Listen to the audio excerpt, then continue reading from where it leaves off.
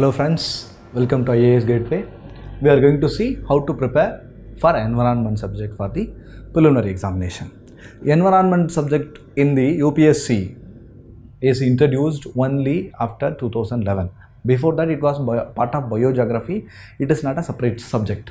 In 2011 it was uh, introduced after that it, it gained uh, prominence and from 2011 to 14 if you see there is a constant increase of questions in the question paper.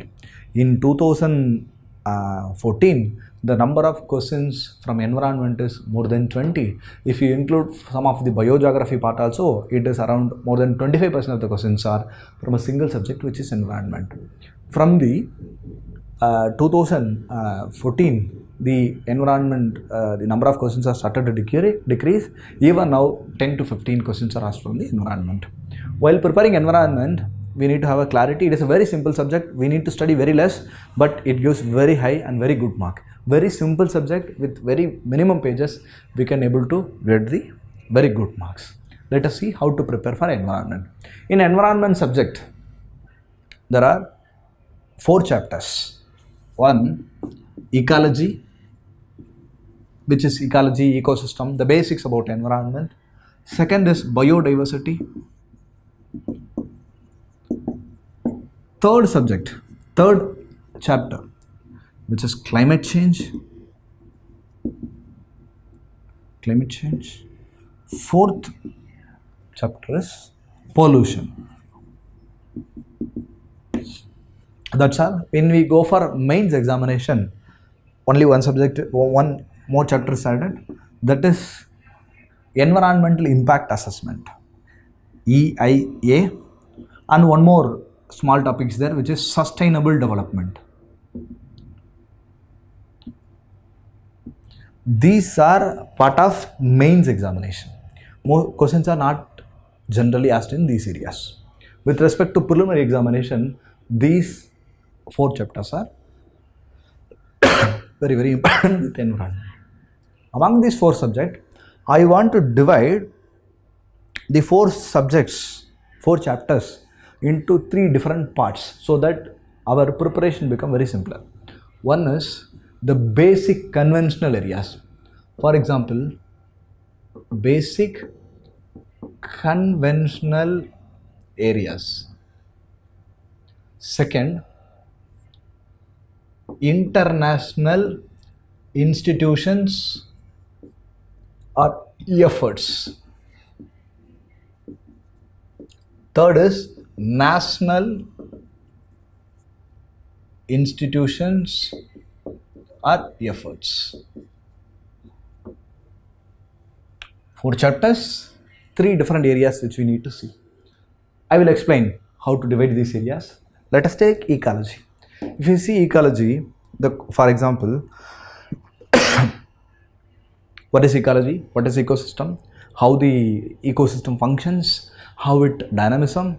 Uh, when we will see food chain food web how various uh, producers uh, energy pyramids ecological pyramids all those things. All those basic things which we studied in the school. These are comes in the basic conventional part of ecology. And if we see the types of ecosystem what is ecosystem biome all those things uh, ecological niche although there, there are many many many things are there in the these areas. They are part of the basic conventional areas. After seeing these conventional areas uh, in the conventional one important part is the uh, types of ecosystem. One is the terrestrial ecosystem and aquatic ecosystem.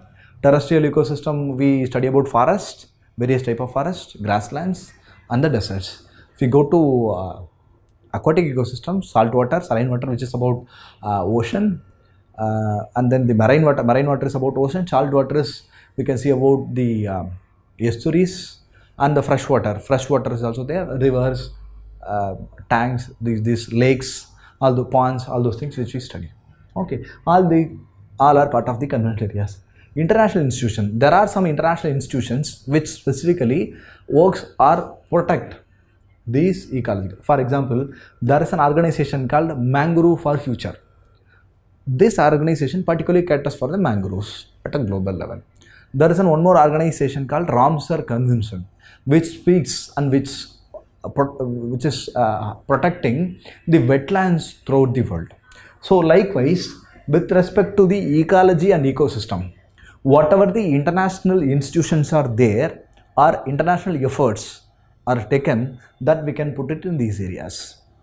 Likewise, if we go to the national institutions or national level efforts, for example, recently the government has come up with the protecting the rules, go zone, no go, no, no go zone areas for this forest, and we have um, uh, the the ocean, ocean, um, the beach beach side guideline areas construction regulation all those things. If we have the mangrove uh, safeguarding rules we have this uh, we have a national plan for the entire safeguarding aquatic ecosystem. Likewise each and every specific ecosystem based or generally ecology based whatever the institutions available or decisions taken or some schemes implemented whatever comes within india we can put them in the national park. Likewise that will follow in other other subjects also. I will give you some examples. For example biodiversity. What is biodiversity? What is the types of biodiversity? What are the threats to the biodiversity? All those things we can put in the biodiversity. And we have the concept of called edge species climax species. There are so many things which we need to study here. Then we'll go to the international institutions. There is an organization called uh, CBD, Conventional Biological Diversity, even Ramsar Convention is part of this organization. There is a convention, uh, there is a conventions um, for uh, as a traffic, and we have a conventions uh, like for the migratory species. We have a convention for transboundary trade. Okay, likewise, there are many, many, many W um, um, like World Wide Fund for Nature, and we have IUCN okay likewise we can put all the institutions here which protects and safeguards the biodiversity in the world can be put it here. Likewise if we come to national level national biodiversity authority we have wildlife protection act we have environmental protection act we have the um, biodiversity. There are various for example to protect the biodiversity we have national parks we have sanctuaries uh, we have biodiversity hotspots we have biosphere reserves. Okay. Likewise the even indian government has taken a lot of efforts to protect the biodiversity. And and uh, in the year 2012 the cbd biological convention that has been took place in India. India has organized an international convention to protect the biodiversity. Likewise, there are many things which comes in these areas. Climate change. What is climate change? Greenhouse effect, the uh, acid rain, all those things will put it here. If we go to the ozone depletion, here we have a convention like Montreal Protocol, Kyoto Protocol, and till now Paris, beyond Paris, before Paris, all those things which can put it here. Okay, the UNFCCC, all those things we will put here. The institutions. With respect to India, we have a green tribunals.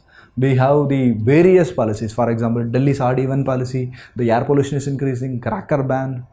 Okay. Apart from that, there are various institutions at a national level, state level, and they are taking many efforts. For example, new uh, tiger reserves are coming, new new new decisions are taken with respect to environment, pollution control, uh, especially the to reduce the uh, carbon emission as well as uh, the oceanic uh, sea floor rise. Okay, all those things we will put it here. Okay, pollution, different types of pollution, air pollution, water pollution, noise pollution, thermal pollution, light pollution, uh, we have biomedical, biomedical waste, we have radiation related issues, and we have nuclear pollution. Everything can be put it here. And there are some international conventions. We have a London London Convention. We have uh, Rotterdam Convention. We have Stockholm Convention.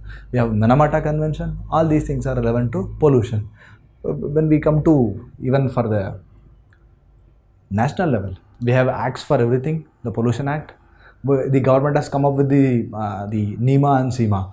There is a concept which is not presently not implemented. National uh, Environment Management Agency, state level environmental management agency to cover all these environmental related pollution related issues, pollutant related clearances. Now we are giving color codings of the polluting industries.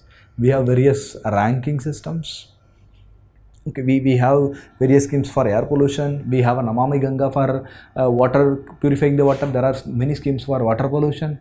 We have schemes for various, to control various pollution. Everything we can be put it here. Okay. Why I am giving this demarcation? If, if, you, if you see this, you might have gotten one broad idea. Only these four chapters and these three ways environment that's it okay. In this we, we the environment is implemented in 2011 from the 2011 18 the journey of environment is interesting. From 2011 to 2014 most of the questions are from conventional basics. For example you can see some of the questions related to food chain food web or edge species like this. Many many many questions are most of the questions are from here. It is either conventional geography or little bit of biogeography, the basics. From 2014, after 2014, these area, the international institutions, for example, in the current affairs, we have we, we have told that there are many questions are coming from international institutions. The international institutions from environment and economics are mostly asked in the examination. So environment related, for example, Kyoto Protocol, Montreal Protocol, you can see UNFCCC, you can see um, IPCC, Intergovernmental Panel on Climate Change, WF. Last year, traffic is asked in the examination. Okay, so the number of question after 2015, the question from international and national are in, increasing at one point. If you say the 2016 17, only question from these areas, there is no question from here. In the 2018, the trend is reversed, and in the 2000, this is 2000, these areas 2015 to 2017. In 2018, we can see mix of both, mix of everything. There are some question from basics, there are some question from international, there are some question from national. So, environment preparation should be comprehensive. We need to know conventional, international, as well as national affairs. And still, even now, the questions from international and national are more compared to the basics. Okay, so it is very simple. Uh, and the number of questions from environment in 2011 to 14 has constantly increased. 2015 to 17 it was decreased. Now it is around 15 questions. If you see an average questions, it is 15 question. The entire all these four chapters and all these areas can be put together and if we include current affairs everything for one year it will come hardly 200 to 300 pages. Hardly 200 to 300 pages. 200 to 300 pages. If you read 200 to 300 pages you can answer 10 to 15 questions. 10 to 15 questions which means you can get 20 to 30 marks. 20 to 30 marks it is almost 20% of the it is almost 20% of the marks required to clear the preliminary examination. To clear the preliminary. So and it is very simple subject to understand to study revise and practice. So environment is one of the very important and essential subject. If you study well with less efforts you can get very good marks. We will discuss about all other subjects also. Thank you